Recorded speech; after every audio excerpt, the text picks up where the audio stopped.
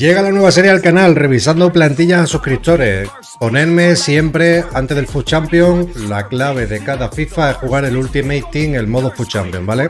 Y siempre voy a dar recomendaciones de lo que deberías vender o lo que deberías fichar para el fin de semana.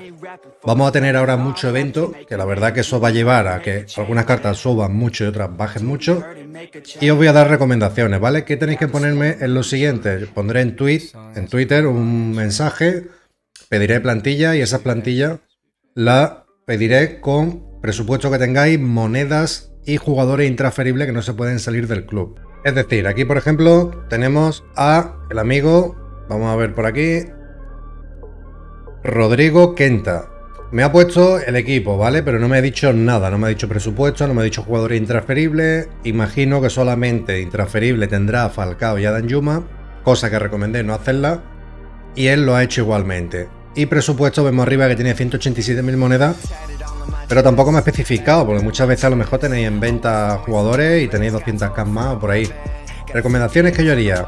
Este equipo la verdad que está bien. ¿Te gusta la Serie A? Yo siempre recomiendo, cuando no tenemos muchas moneditas, empezar por la Serie A. ¿Por qué? Porque son ligas bastante buenas, bastante sólidas en defensa y siempre eh, los SBC los ceban mucho de la Serie A. Son liga que para empezar está muy guapa, la verdad. Tiene portero y defensa total. Y arriba yo te cambiaría a ese Depay por Arnautovic, el nuevo. Ese jugador es brutal.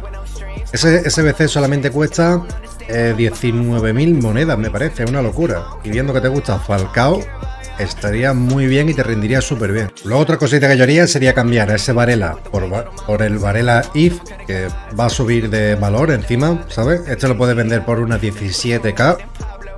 Y en defensa cambiaría ya a este Araujo y pondría al de que va a salir el IF, saldrá bastante baratito. O el One to Watch, el promesa, que seguramente seguirá subiendo, porque la verdad que sale en el equipo de la semana y tiene bastante margen de mejora de volver a salir. Siempre saca un par de if al año y es un jugador mucho más bueno que Araujo, aunque es verdad que Araujo es bastante meta.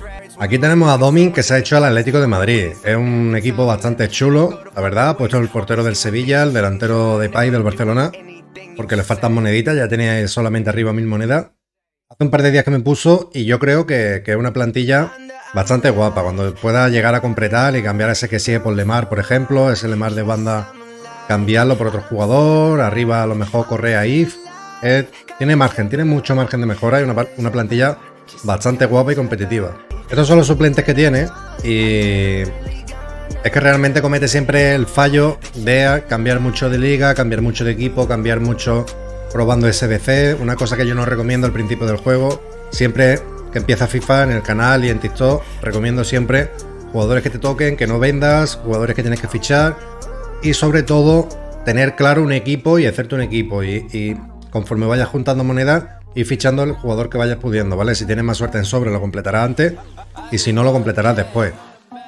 ponerte arriba un Mbappé, un Neymar, un Vinicius y un icono, pues no es muy realista, pero un equipo así bueno de 300.000 moneditas viene bien para que llegue noviembre y no ir todavía con este equipo, la verdad. Vale, aquí tenemos a Jonathan Q. Te dejo mi plantilla, presupuesto 150k transferible. Mendy de Barán adicional me salió sobre Gubu transferible. Bueno, la verdad que bastante suerte y bastante nice, ¿eh? Lo primero de todo, vamos a ver los suplentes. Vale. Tiene ese Kimpembe con roja. imagino que irá por Kunde. O por lo menos debería ir por ese Kunde. Cosas que yo haría en este equipo. Eh... Arriba el One to Watch, si no es el que te ha tocado intransferible, lo cambiaría, lo vendería ya, porque está en el momento más bueno de venta. De venta.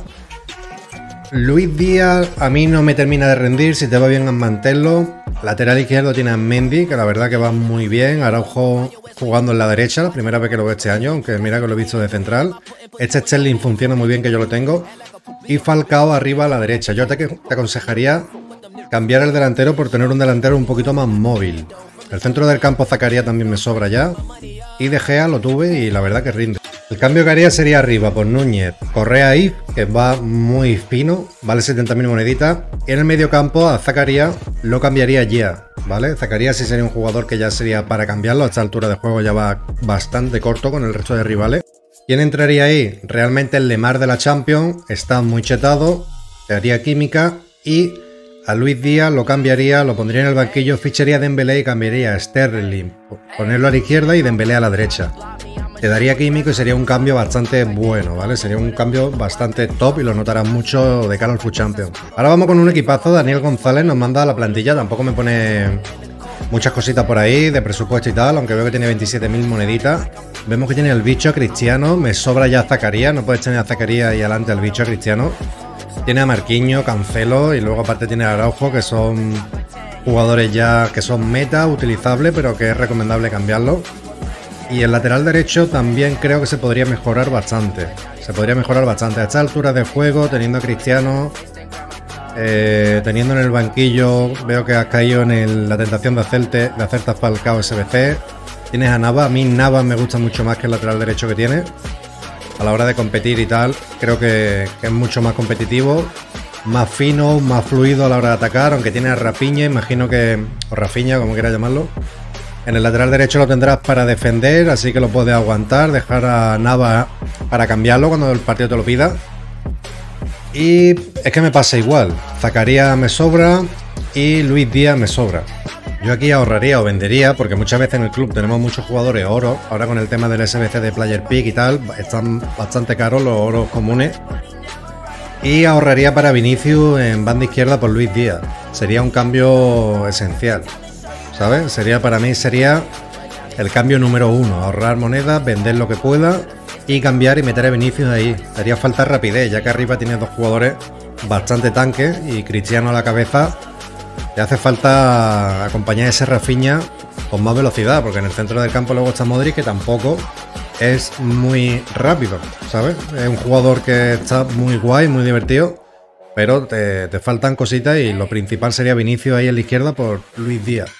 Ignacio nos manda su equipo y la verdad que me sorprende porque está bastante guapo y compensado, está muy chulo. Este icono ahí arriba a la derecha con Danjuma, Pedri, Dembélé, De Jong que va muy bien, Vinicius y luego tiene a Piqué Navas, ese dúo va bastante, va bastante guay. Me dice que tiene 200k eh, disponible, ¿vale? Piqué, Barán y Dembélé son transferibles. Yo realmente este Piqué lo cambiaría, ¿vale?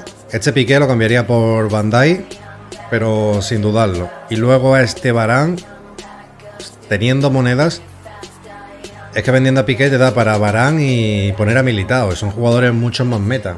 De hecho, Bandai creo que, es bastante mejor que Piqué, muchísimo más, más bueno que Piqué. El resto del equipo me viene muy bien. Creo que está perfecto. Y cambiaría poco, cambiaría poco, porque ya el siguiente cambio sería tener muchas monedas. Muchas monedas, pero vaya, para un Food Champion. Cambias a Barán y Piqué. Te quedas con un poquito de profit para el evento, que seguro que sale alguna carta buena. Y cambias este Barán por Militao y Bandai por, por Piqué.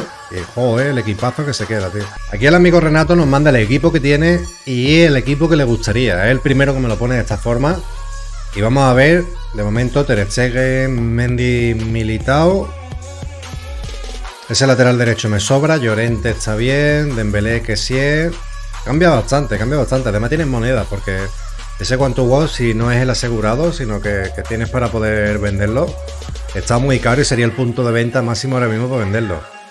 Chevchenko está bien, pero no termina de ser muy meta. Lo que pasa es que es muy divertido, a mí me pasa igual. Yo todos los FIFA comienzo con, con Owen, por ejemplo, que, que las enchufa todas, es muy divertido.